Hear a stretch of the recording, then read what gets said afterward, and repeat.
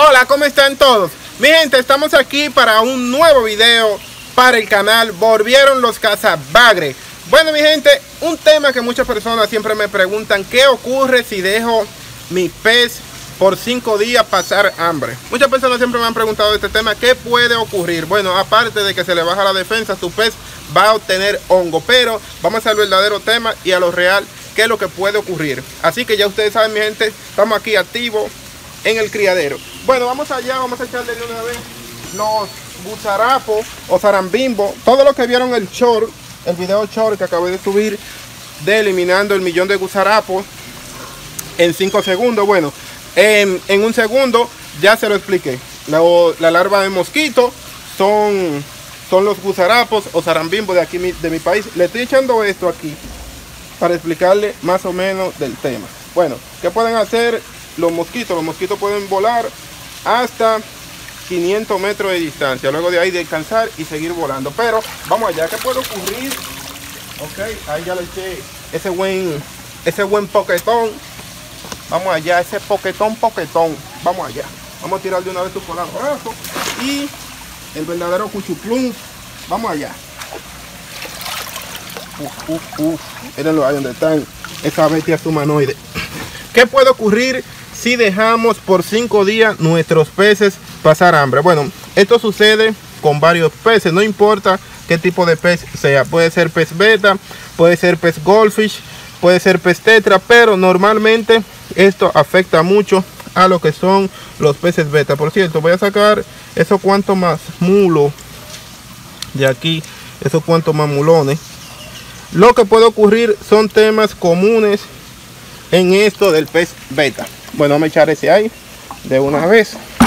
Y aquí estamos. Bueno, uno de los temas comunes es cuando dejamos pasar hambre a nuestro pez beta. Es que luego de cinco días de dejarlo pasar hambre, esto puede pasar, muchas veces nos vamos de vacaciones, no le echamos comida a nuestro pez beta y le damos demasiada comida.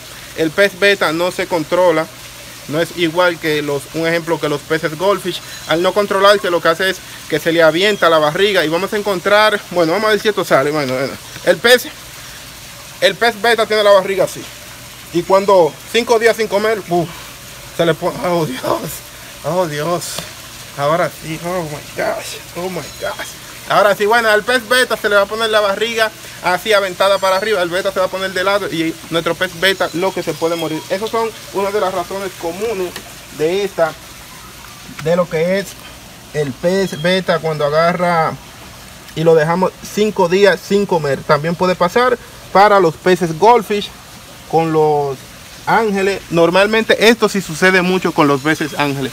Los ángeles sí es que se viran de una vez y rápido, mi gente. Este, este estos sí son de verdad que se viran bien rápido. Bueno, ya ahí tenemos esta parte de lo que son los peces beta. Bueno, estamos clasificando unos cuantos por aquí tenemos unos azulitos ahí que están bien fuertes. Vamos a tirarle otro coladorazo. Más para acá. Aquí de este lado. Allá. Este es un super coladorazo.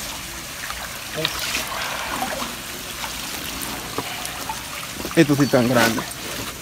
Estos sí tan grandes. Aquí están. Vamos allá. Vamos a ver los colores que aparecen aquí de este lado.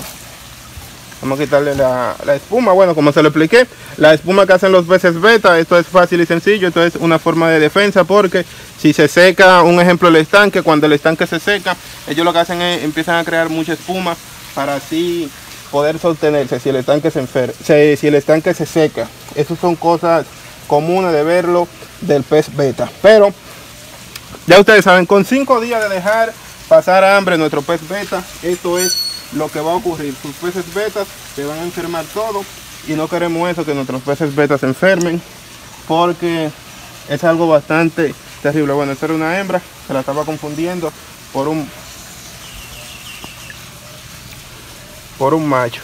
Bueno, vamos a seguir clasificando unos cuantos más. Aquí de este lado.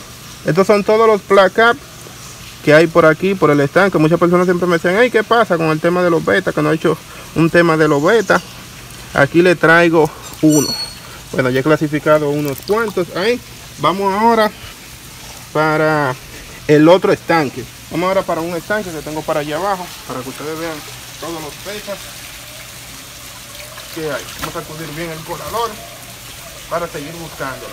Seguimos por aquí. Bueno, vamos a tirarle el otro coladorazo aquí a este estanque que tenemos de este lado. Aquí se hay, aquí se hay de verdad unos verdaderos legendarios. Si esto afecta a los peces guppy, no. Esto no afecta a los peces guppy. A lo que más afecta es a los peces beta. Porque el pez guppy normalmente se alimenta con poco y también se puede alimentar de alga. Por eso esto no afecta a los peces guppy. Dejarlo esos par de días así. Pero hay un inconveniente con los peces guppy, que si los guppy tienen cría, al dejarlo tantos días sin alimentarse, lo que van a hacer es que se van a alimentar con su misma cría. Tienen que tener esto muy en cuenta a la hora de, de pensarlo bien en dejar pasar hambre a tu pez. Bueno, estos son más placas que tenemos por aquí. Por aquí hay unos verdes, unos verdes con rojo, que están bien bonitos. Vamos a ver, creo que aquí puede aparecer un super legendario. Vamos, vamos a ver. Ustedes saben, lo he explicado en varios videos que la respiración del pez beta es pulmonar. Muchos me dicen, hey, todos esos betas juntos no se pelean. No, son hermanos del mismo tanque. Por eso no se pelean. Siempre lo explicamos en los videos. Así que no hay de qué preocuparse. Vamos a ver si aparece un beta de esos summa lauden que están aquí. Ah, miren uno aquí donde apareció. Un animalote de esos summa lauden de beta. Pero ahí están toditos los betas. Bien saludables y bien nítido. En lo que voy sacando unos cuantos también, voy clasificando varios de estos ejemplares, ya que muchas personas me decían que qué pasaba con los betas. Por aquí se lo estoy mostrando. Bueno, ya ustedes saben, no le den, no lo dejen tantas veces pasar hambre a sus peces beta. Ahora, ¿qué pueden hacer? Es no darle mucha comida. Si un ejemplo le daban cuatro o le daban dos bolitas, solo le pueden dar una bolita hasta que se vayan completando los días, porque ese mismo día, si le dan mucha comida, lo que va a hacer el pez beta es que se va a morir. Bueno, salimos de ahí y vamos a tirarle un colaborazo aquí a este estanque, este super estanque. Este es un verdadero estanque. Bueno, tengo la telita aquí para cuando vengan los martinetes se queden atrapados. Vamos allá.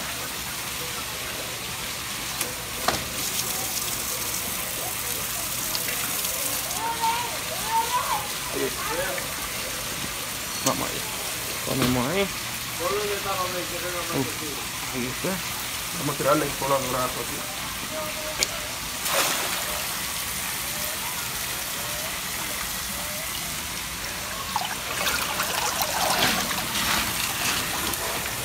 Miren aquí donde salió un manchado de una vez. Estos son de los platacitos manchados. Este está bonito. Es gris. Un poquito de manchado. ¿Dónde están los otros?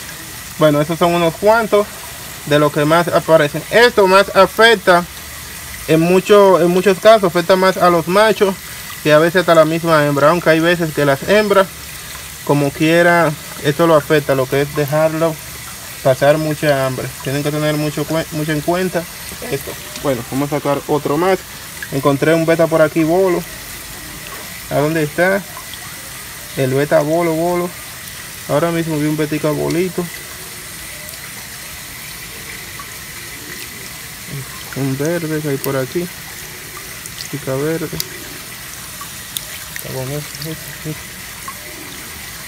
Y un bolito por aquí.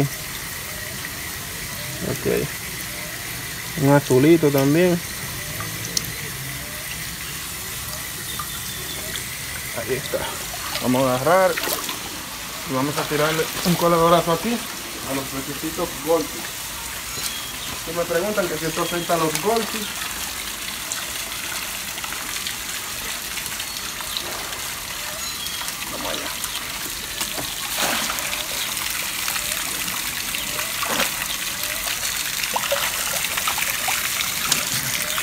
Estos son los goldfish. Esto no lo afecta en nada a nuestros pececitos goldfish. Porque los goldfish, ustedes saben, comen mucho y evacúan mucho. A los pececitos goldfish, comer mucho y evacuar mucho esto no le pasa nada. Esta especie que tengo aquí son de los goldfish rayunki. Estos rayunki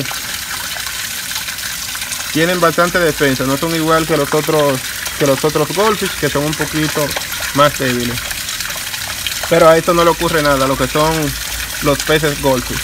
Esta es la nueva línea que tengo por aquí en este estanque. Así que vamos para otro estanque más de peces. Seguimos. Y continuamos por aquí, mi gente. Bueno, esto afecta a los peces koi. No, en parte no afecta a los peces koi. Los peces koi pueden durar varios días sin comer. Lo único es que el pez koi, la defensa se le va a bajar mucho. Esto es un ejemplo que le estoy dando por si ustedes se van de vacaciones y piensan dejar sus peces solos. Es muy bueno dejar los peces alguien cuidándoselo y explicarle bien de no echarle mucha comida. Hay muchos casos que esto suele suceder cuando dejamos a una persona cuidando los peces. Siempre le echa alimento de más. Pero si le explican bien cómo es, no puede, no le va a ocurrir nada. Por eso le digo, no dejen pasar hambre a sus peces, porque al dejar los peces pasar hambre, esto es lo que lo va a atrasar mucho normalmente suelen enfermarse y no queremos eso. Estos son de los coibeleros que tengo por aquí en los, estanques, que están bien saludables. Tengo unos cuantos blancos con rojos. Estos son hijos de la de la koi legendaria, ustedes la recuerdan. Miren ahí está, es un blanco con rojo que está bien bonito. Y así está. Este es un estanque que tengo por aquí, full de los peces koi. A los peces koi esto no le afecta, no le afecta mucho, pero hay un serio inconveniente de lo que es los peces koi. Bueno, tengo el pantalón por aquí más abierto que, que el muñequito de Jordan cuando está un suculento mango. No, ese mango no. Está huelible, está huelible. Bueno, por aquí tengo este, este pantalón está más abierto que el, muñequito Jordan cuando está metiendo la pelota más. Sabe raro. Sabe raro. Muy raro sabe ese mango. Bueno, mi gente, esto es lo que les explico. Cuando tengan sus peces, no lo dejen. Traten de no dejarlo sin comer. Porque si lo dejan sin comer, si se van de vacaciones, es mejor dejárselo a alguien para que se lo cuide. Debido a que estos peces, lo que va a suceder es lo siguiente. Los peces pueden agarrar y se le pueden enfermar. Aparte de eso, el pez koi, al durar tantos días sin comer, con los gusarapos o con cualquier alimento que le echen, no le va a afectar en nada. Ellos van a seguir comiendo y no se le va a aventar en la barriga como a los peces beta. Pero en el caso, ellos lo que van a hacer es que van a empezar a devorar a los peces koi más pequeños. Recuerden esto, mírenlo aquí. Un ejemplo, en este estanque es normal que en un estanque hayan hermanos que se desarrollen más que otro. Mírenlo ahí. Estos son hermanos del mismo día, todos nacieron igual y el eh, bueno todos nacieron el mismo día.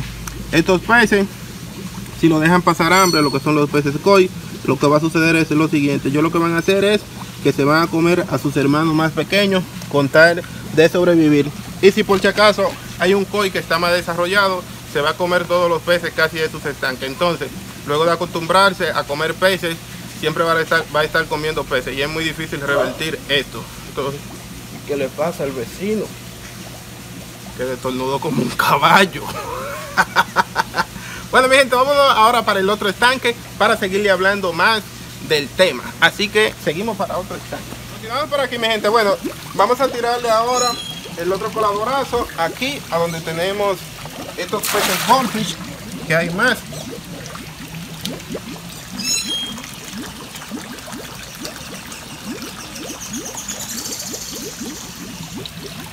Bueno mi gente, y aquí están. Bueno, estos goldfish que ustedes ven ahí, parte de estos goldfish no se puede dejar pasar hambre, como se lo dije.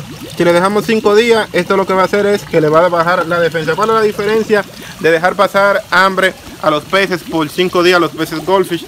Es que van a obtener hongo con facilidad. No es lo mismo los peces beta. Los peces beta lo que hace es que se le vira la barriga y se pueden morir. Los peces goldfish es que van a obtener hongo el hongo que tengan, esto va a agarrar y va a enfermar a todos los peces goldfish, pero se pueden morir. Hay en muchos casos que no le dé el hongo, pero hay en muchos casos de que sí, porque los peces goldfish siempre necesitan estar comiendo y estar en actividad. Si se fijan, normalmente los peces goldfish siempre andan buscando un poquito de comida. Un ejemplo, tengo el colador allá, este colador lo voy a utilizar y le voy a colar un poquito de larva de mosquito ahí mismo y ellos lo que hacen es de una vez que empiezan a alimentarse.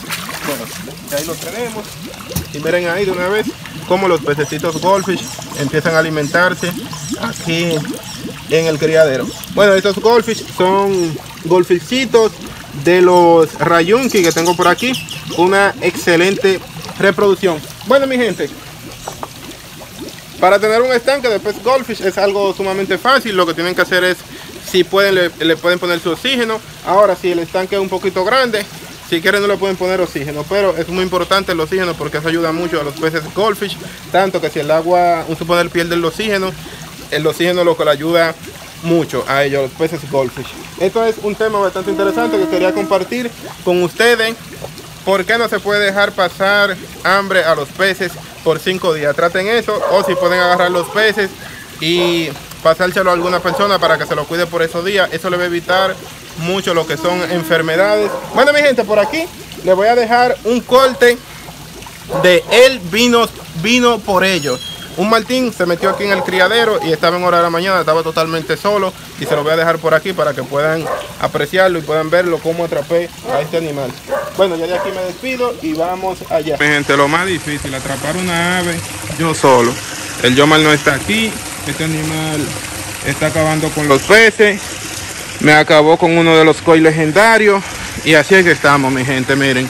Ese es su instinto y todo, pero déjenmelo aquí en la caja de comentarios, a pesar de que sea su instinto, él no tiene, él no tiene por qué entrar aquí, porque hay muchos ríos. Miren, miren, yo solo por aquí. Vamos a ver si lo puedo atrapar. Esto es difícil cuando uno está solo. Miren, los animales que tengo, mi coil legendario. Hola, amiguito, ¿cómo tú estás? Esto no es violencia, ¿eh? Por favor. Uf. Miren acá animal. Hoy voy a tenerme que mojar. Estoy aquí en el criadero, mi gente. Y miren ahí cómo está ese animal ahí. Destrozándome los peces. En realidad. Uf, uf. Está por subir. Está por subir. Aquí necesito ayuda hoy. Hoy necesito ayuda. ¿De quién? De cualquier persona. Bueno, vamos a ejecutar de una vez. Hoy le voy a mostrar cómo ejecutar. Uf, uf, míralo allá donde cayó. Ay, está por la tortuga. No voy a ir tranquilito por ahí. Está por aquí por la tortuguita. Vamos a ver si lo puedo atrapar. Mírenlo ahí donde está. Uf. Oh, Dios mío. Yo mal te invoco. Ven, yo mal. Bueno, mi gente, así que estamos. Miren, voy a utilizar este tubo para ver si se quiere meter ahí. Espero que no se haya caído. Ah, bueno, ya está atrapado por lo menos. Por eso siempre pongo esas telas ahí. ¿De qué consiste esto? Estos animales llegan en hora de la madrugada a acabarme con el criadero. Es difícil, mi gente. Ustedes no saben lo que estos animales han hecho aquí en el criadero. Miren cómo se tiene su pico pau. Oh. Okay. Qué suspenso eso, atrapar este animal. Miren dónde están mis gorditos, ahí. Ya lo ven, estos son mis gorditos. Él vino por ellos, a probar el sabor suculento y nutritivo de mis pequeños gorditos. Mis gorditos siempre están en hora de la mañana, buscando su comida. Y él, en hora de la madrugada, buscándolo a ellos. Mírenlo ahí. Vamos a ver cómo lo hago ahora. Oh my God. Oh my God. Oh my God. Si no me caigo en uno de estos estanques, al final de cuentas me voy a tener que mojar todos los pies. Me voy a quitar las botas. Miren allá arriba donde está. Espero que se quede enganchado. Está enganchado allá arriba. Enganchate, capacito, ¿eh? Enganchate, ¿no?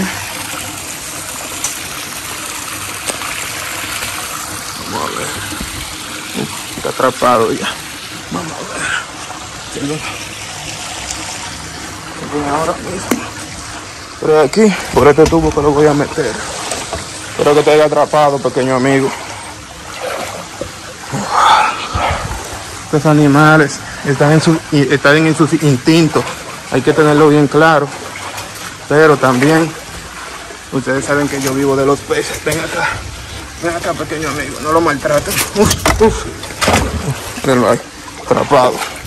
Atrapado. Fácil y sencillo. Y sin maltratar a este animal. Uf, ¿qué hacen ellos? Estos son uno de los principales devoras peces de aquí, del criadero. Bueno, eso me le hizo este Martín a un koi legendario. Me acabó con el pez. Ahora mismo a este animal le está latiendo el corazón a 850 mil. Le está latiendo el corazón. Bueno, yo lo que hago aquí es que mis gorditos le doy su alimento y ellos vienen a desbaratar a desbaratar el criadero. Hay algo así que se llama instinto animal puyar. Miren, ese pico que él tiene ahí, no lo estoy atrapando de que de forma, ustedes si ustedes se dieron cuenta, no lo atrapé de que de una forma mal. Lo atrapé de una forma bien para no maltratarlo. Pero este lo que hace es que se come todos nuestros peces.